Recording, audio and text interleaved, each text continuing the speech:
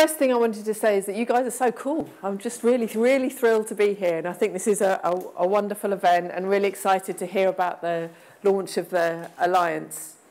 Um, so I'm just going to be talking briefly about why, why does maintenance matter for social justice? Why is this an issue of social justice? My name is Becky Faith. I've been working, um, as Janet indicated, I'm a, I'm a, a long-standing geek. I've been working in the field of technology and social justice, both in international NGOs and in my own backyard in Brighton for longer than I care to remember. I did a PhD at the Open University in the Department of Computing, looking at how young uh, socially excluded women use mobile phones and the role of mobile phones in their life. And now I help lead the Digital and Technology Research Group. Here I am with my team at the Institute of Development Studies at the University of Sussex. And for those of you who don't know IDS, we work on three defining challenges, which I think link very strongly to the, to the work of the Restart Project and Restarters worldwide.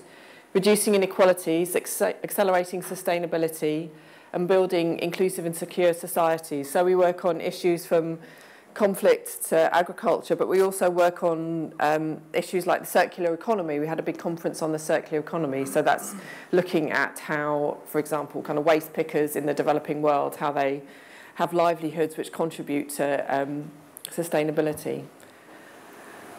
For me, digital inequality is one of the kind of key axes of inequality that we face now globally. So your access to technology and your access to kind of meaningful use of technology really defines how well you do in society. So with poor connectivity, everything's more expensive. In the UK, you'd know that like if you're not able to search for a better um, electricity deal online, you're going to be worse off.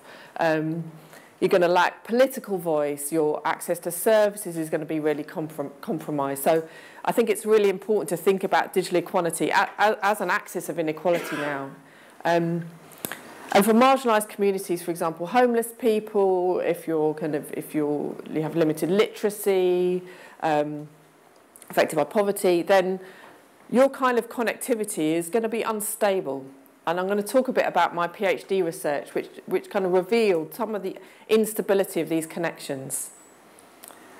So my PhD research, which I did about three years ago, and I did it in, in Brighton with um, uh, with young unemployed women in Brighton asked, how does socially excluded young women's use of mobile devices, it's an academic piece of research, impact on their capabilities? Which basically said, what difference does it make if you're young, unemployed and you're homeless, what difference does it make to have a mobile phone in your life? And the most of them had smartphones, actually.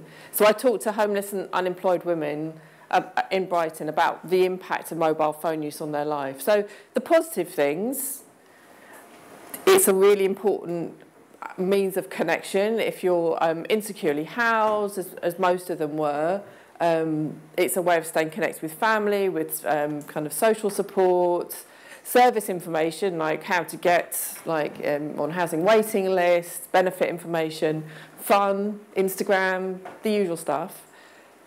But many, many negatives. They were incredibly expensive. So these, uh, these girls were being we had like 19 year old unemployed pregnant homeless women being offered 40 pound a month iphone contracts by unscrupulous mobile phone companies.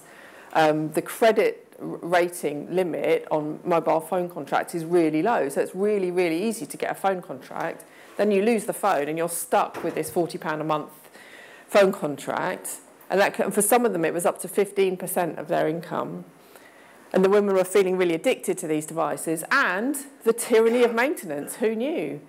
They're really mobile phones. We saw how lowly ranked Samsung was. A lot of these girls had um, Galaxies or whatever. They're really expensive to maintain. The battery life is rubbish, and they're really hard to use. So they're often really challenging, especially if your kind of educational status isn't great.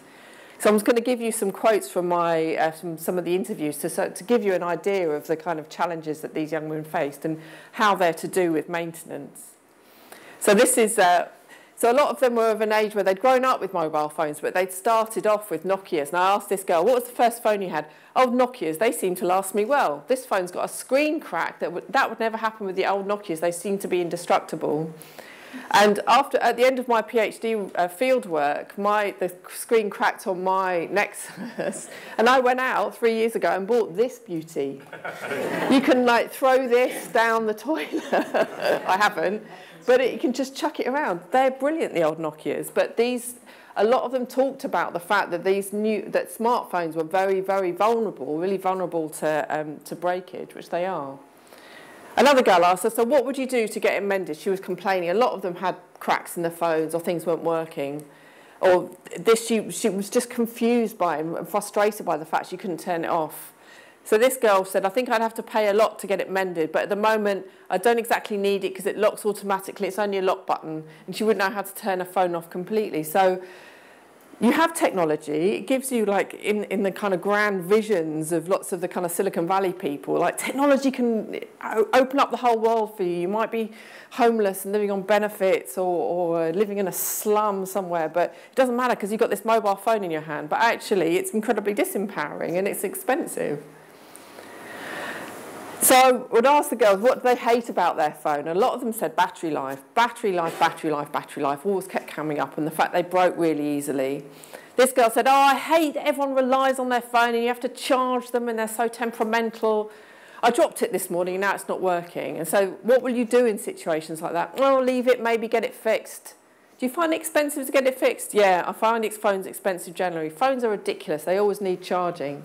So again, these are girls who are really reliant on. If you, I mean, some uh, some of them were literally like living in tents because they had nowhere to live in Brighton. It's like London, really expensive housing costs. So they need having good battery life and, and being able to charge your phone is really, really important. So another girl, she was using a phone to try and find housing on Gumtree, but she didn't really know how to use it. what do you find difficult about it? Or they change the software all the time, so things all look different, or they move, and I don't know where they've gone, or it freezes. So what do you do when it freezes? I leave it. I think I better not touch it. This is this is a kind of conversation you might have with I had with these um, unemployed women, but you might well have it with my mother-in-law or with people who you know in your life who haven't got such great technical skills. And that's most people, actually.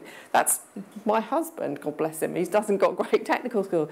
Lots of people are, feel very disempowered by this technology that they have to use in their life. They leave it, it freezes, and they think, oh, I better not touch it. They're scared of it. They feel disempowered. And I think actually that's what's great about the about fixing stuff. It makes you feel empowered in relation to technology. So for these young women and other marginalised communities, take these young women, this was 30 young women in Brighton, let's replicate these women to the communities you work in around the world. These inequalities they experience, so their, their lack of housing, their poor education, the zero hours contracts they work in, were exacerbated by these maintenance challenges. They were exacerbated by the fact that their phone would run out of charge and they had nowhere to plug them in because they had insecure housing. So as more people get online, these digital inequalities aren't so much about the fact of whether you've got a phone or not, whether you've got access to a computer. It's about your ability to maintain that access to technology. And this is where you guys come in. Over to you.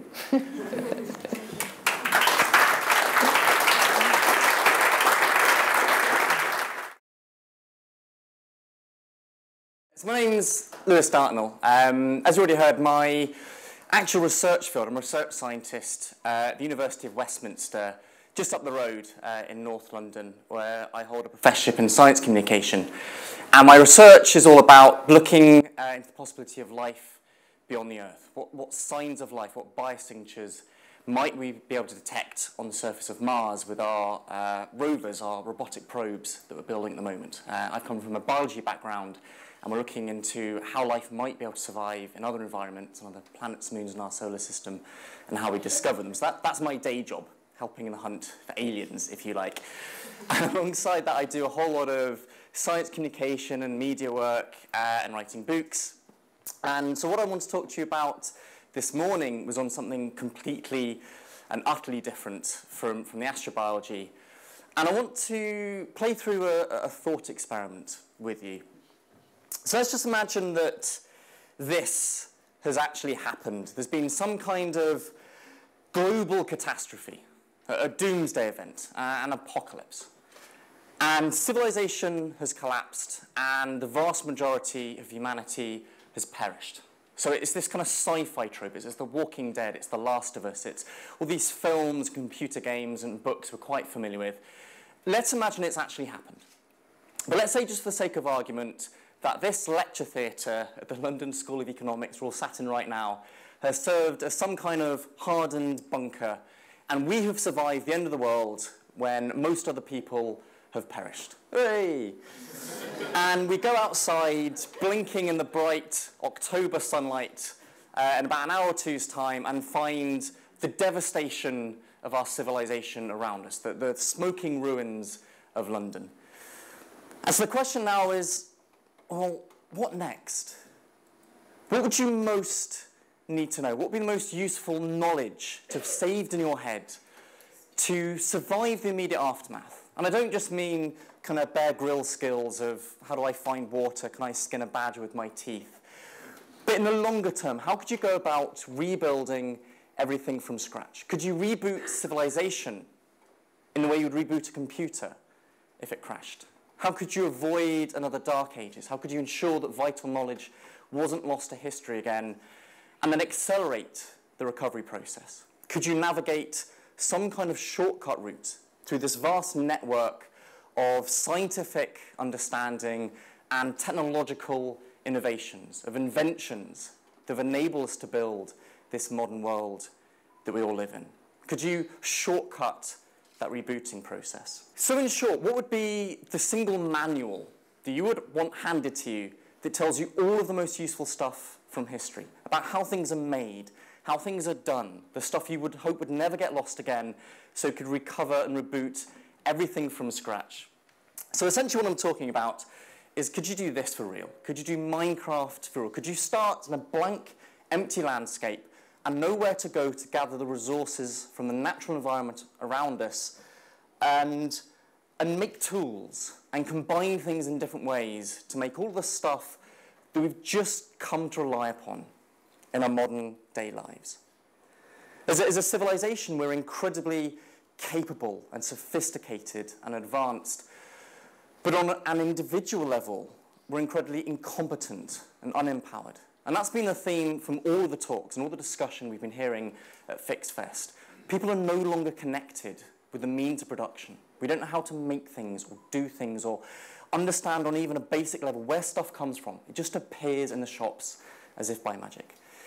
So to explore that idea, to hold up a mirror to our modern world, to kind of peer under the bonnet of the engine of how our world works, I tried to write that book, that manual that tongue-in-cheek, as a thought experiment, you could use to reboot civilization after an apocalypse. Uh, we, we've heard already it's called The Knowledge, how to rebuild our world from scratch.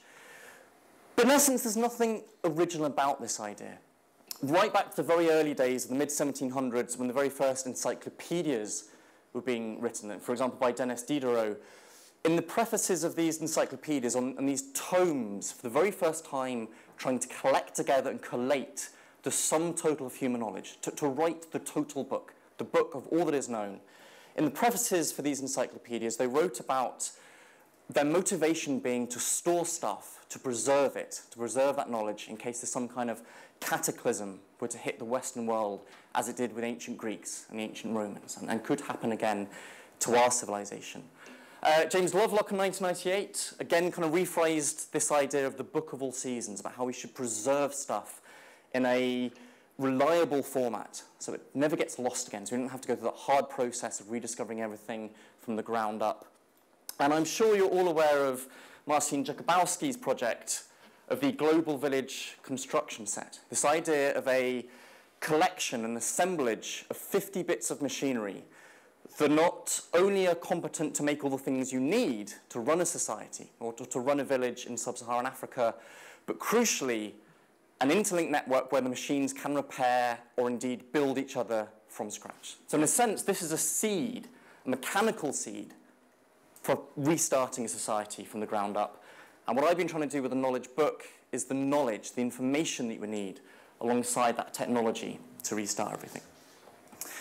Um, so what I did for the project, which took about two years from beginning to end, is look at all the different areas of capability of our modern world that we all rely upon without appreciating, without understanding. Everything from where food comes from and how we don't starve to death, to very basic chemistry and substances we rely upon, uh, different materials like medicine, the element, uh, like different materials like metals, the elements of medicine, how you make power and electricity, how we transport things around, uh, all the way up to time and place. How can you reinvent a calendar from scratch by using astronomy? How can you navigate yourself around the world and all the different uh, sets of information and inventions and technologies embedded in all those different areas. These, these are blatantly the chapters of the book, by the way, the different themes.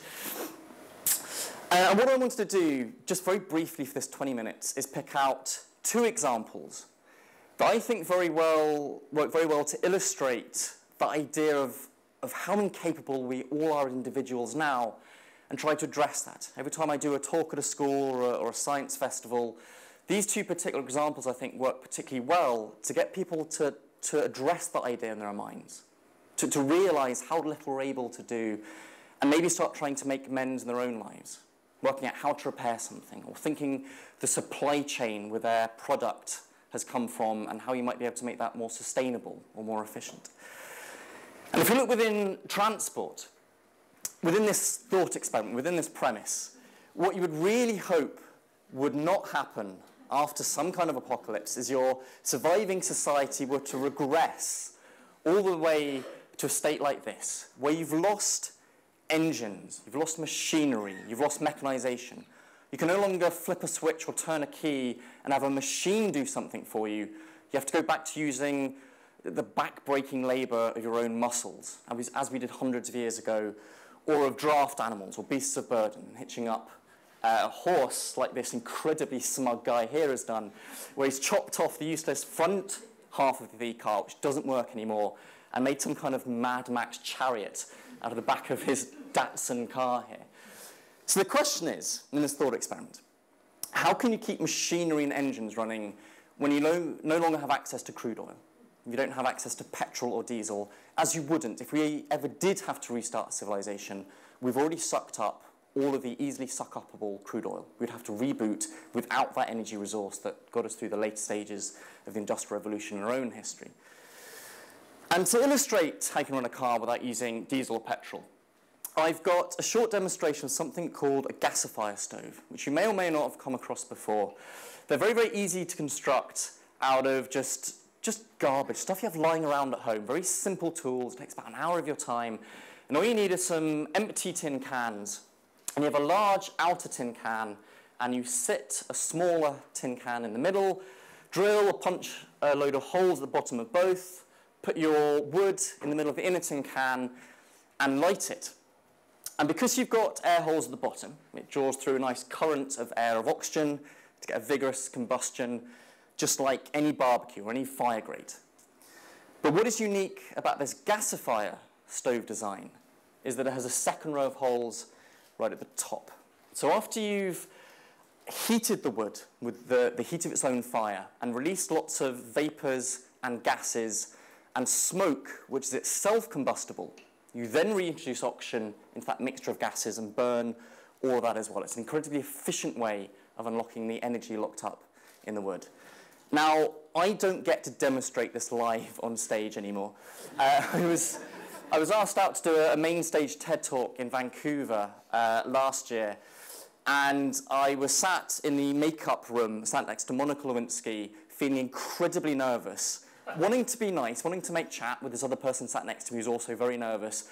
And the only thing I knew about Monica Lewinsky was the single thing you should never bring up in polite conversation. So I sat there in silence, went out onto the big red spot of doom on the TED stage, and demonstrated this gasifier stove and came about that close to setting fire to my own face, to my own head. I'd forgotten just how much hairspray they put into my hair uh, before shoving me out onto the stage. And this thing kicks out an enormous, enormous column of flame. Uh, so instead I've got a short video to show how this works. So what you do with your gasifier stove, if you watch, I'm just putting a tiny, tiny amount of uh, overwood, just a, a small handful of twigs. You don't need to load much fuel into this thing to get it to work incredibly efficiency, uh, efficiently and pump out a huge flame. You can see in the video here as well more clearly that large outer can with the air holes at the bottom, the inner can's hidden from view. I'm about to light it with a lighter. There's another video we produced for this book where I show how you can start fires using combinations of everyday objects. How you can start a fire, ironically, using a fire alarm, for example, by, by exploiting understanding of physics and science and how things work. So it smokes a little bit at first, and then bang, within four or five seconds, the smoke has disappeared, because we're now combusting that as well, and it's been replaced by a four-foot jet of flame coming out the, the bottom of this tin can stove. In a second, you'll see where I almost lost my face. Then do not do that with hairspray in your hair over four-foot jets of flame. Uh, these gasifier stoves, also called uh, rocket stoves, perhaps for, for obvious reasons. And what the camera angle is about to do in a second is zoom in to that upper row of air holes. And you can see these jets of flame coming in from the top. The, the, the, wood itself isn't burning. There's a clear gap with no flame above the wood as it turns to charcoal. And essentially you're operating a gas hob. You have rings of, of, of fire where the gas and the oxygen are remixing and producing that incredible flame. Now, the reason I bring this up as an example is it's ludicrously simple to make yourself. This is the kind of stuff, there's uh, instructions up on the book's website, but I can do that with your brothers or sisters or your, your kids as a Saturday maker project before going on a camping trip or having some friends around for a barbecue. This is exactly the same, the right kind of appropriate technology, or intermediate technology that is being taught around the developing world, around Southeast Asia or Sub-Saharan Africa, so families can make the most efficient use of the firewood they can collect in a day, but also because this thing is utterly smokeless when it's in operation, it's much, much healthier to cook with if you're in closed, cramped conditions in a, in a, in a shanty town or in a mud hut, because you're not breathing that smoke in. And what you can also do is scale up your gasifier stove from something the size of an old baked beans can, scale up to something the size of a dustbin, strap it to the back of a car, and you can run a car using wood as fuel rather than diesel or petrol. This is our gasifier stove on the back. That's where the wood is breaking down, it's pyrolyzing in the heat of its own combustion, giving off those producer gases, which you pipe over the roof of the car, down into the bonnet, inject into the engine cylinders, and only then allow to mix with oxygen to explode usefully to drive this car forward. Now, I will admit to you, this does look like some kind of crackpot, steampunk, Mad Max contraption. But they work perfectly well. And in fact, during the Second World War, with all the fuel shortages, because both sides got very good at blowing up each other's oil refineries, there are over a million gasifier-powered cars, a million wood-powered cars driving the roads of Europe to keep society going in this sort of localized apocalypse of, of all-out total war.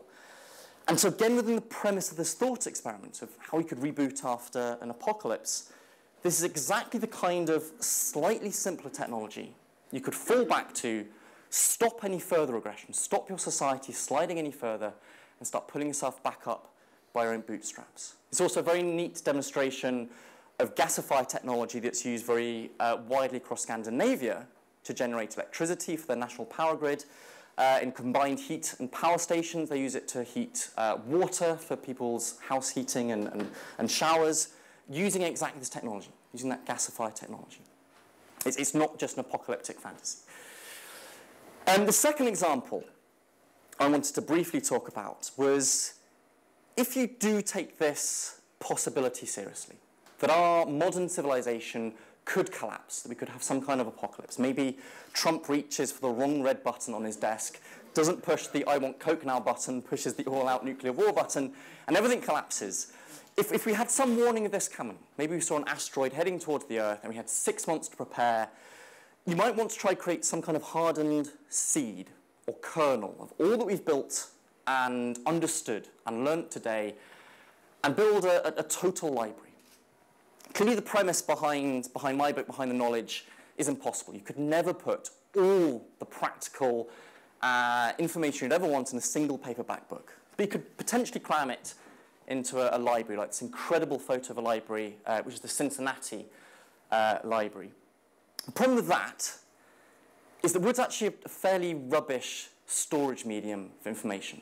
Paper burns very well. And if the roofs start falling in on these libraries uh, and water and rain gets in, then your paper starts turning to mulch and rotting. And you could perhaps never build enough libraries with all the information you need and have enough of them around the world that, that groups of survivors will be able to get to to make any pragmatic use of that information.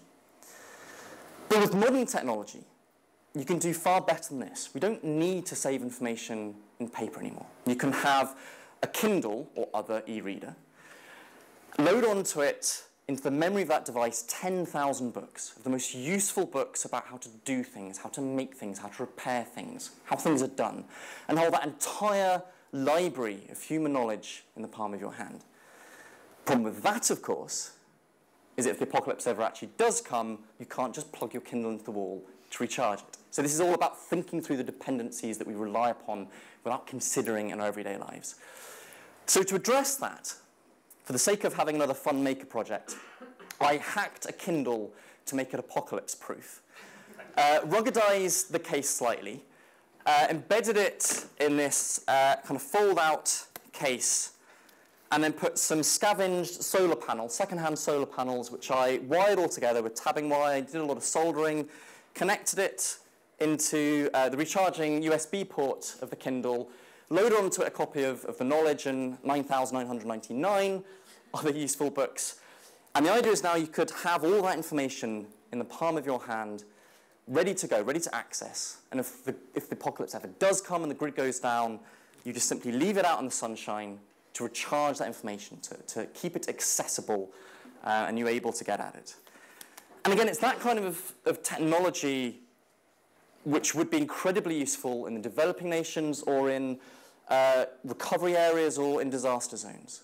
Giving people access to the information they need, for, for, for example, how to purify water so you don't start getting waterborne diseases like cholera or typhoid after an earthquake or after a hurricane, is this kind of technology that could do that. Like I say, I'm, I'm using the apocalypse as a, as a thought experiment, but this is about our real world and about how we can start educating people to think a little more deeply about how things are done and where they come from.